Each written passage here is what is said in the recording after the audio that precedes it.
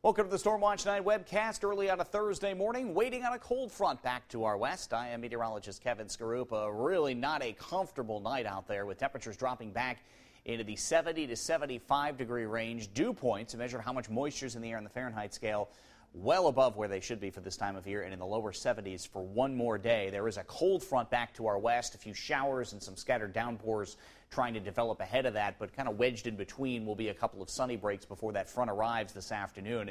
And there will be some scattered showers and storms. You have to just imagine with temperatures climbing into the 80s, all that humidity out there, these are going to be fairly efficient rain producers once they actually do come down. We're talking some spots seeing maybe an inch of rainfall in just about 20 minutes. The main push of that front is to our east by around 5 o'clock this afternoon, and any kind of rainfall ends by 8 or 9 o'clock this evening. Right behind it, clearing skies, setting up what should be gradual gradually more comfortable air. It's not going to happen all at once. Temperatures will still be into the 60s tonight with some humidity around. But tomorrow, a west wind will start to eat away at that humidity. It gets more comfortable through the afternoon.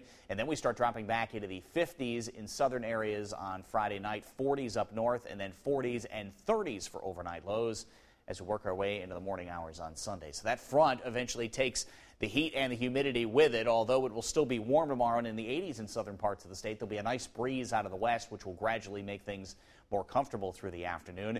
And notice, as far as the weekend is concerned, cooler day looks to be Saturday, slightly warmer on Sunday. Both days partly to mostly sunny skies. So our forecast today in the 80s. Again, we'll keep an eye out for any scattered thunderstorms. You can click on the severe module here at WMUR.com slash weather. We'll have the latest updates there and, of course, on Channel 9 as well. Any periods of rainfall we have out there today could also have some gusty winds with them as the storms come through. And then we'll drop back tonight into the 60s. Your five-day forecast shows high tomorrow back into the 70s up north, 80s south. There may be a stray shower in northern areas tomorrow afternoon, but we're dry otherwise through Sunday.